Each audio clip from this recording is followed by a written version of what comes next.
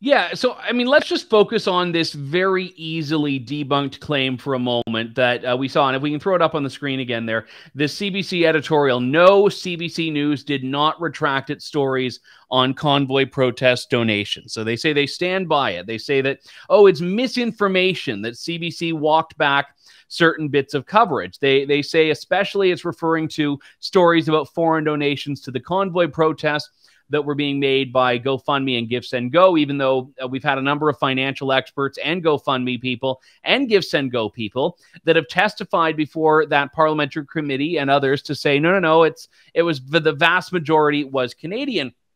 And there was also, though, this uh, report in Blacklock's reporter, CBC pulls false convoy story and specifically this section. On February 10th, in a report about the protest convoy, CBC Radio's The World This Hour incorrectly said GoFundMe ended a fundraiser for the protesters over questionable donations to the group. No explanation was given. And there, there have been other examples as well where CBC has corrected this and they've changed this. They've made amendments to it. And they're still claiming, no, no, no, we haven't, just because we haven't hit the delete button on the story, we haven't admitted that we got the facts fundamentally wrong.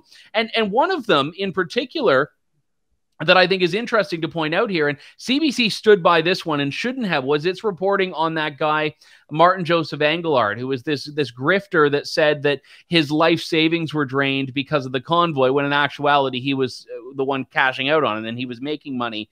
And then when he went to the media, people sent him more money. And we presented CBC with hard and fast evidence that what they reported was wrong and they said, no, no, no, we stand by it. So CBC uh, does have a track record. I mean, they did make a lot of key changes here, Harrison, but they also have a track record of doubling down when they really shouldn't. Well, yeah, and, and just to go back, uh, Andrew, to the statement by Brodie Fenlon, the editor in chief of CBC News. I mean, he can you can you can not issue a retraction and the story can still be false. CBC even admitted to Blacklocks that their radio program detailing these accusations of foreign donations and, and, and dangerous donations from around the world was false. So they said it was false. And you can you don't have to release a uh, write a retraction for the story to be actually false. And I think they're trying to play word games here and say, no, well, we stand by our reporting. We didn't retract our story. Well, fair enough, but you did admit to Blacklocks that your radio program parroting the exact same lines that you had that they had been talking about throughout the convoy protest to give the government some ammunition to uh, basically attack these protesters. Well, they said it was false. So it's, it's just one of those one of those interesting interesting word games by the CBC to say that no, we're, we're standing by our journalism. We didn't retract anything, but then in March, actually, they admitted that what they wrote was false. So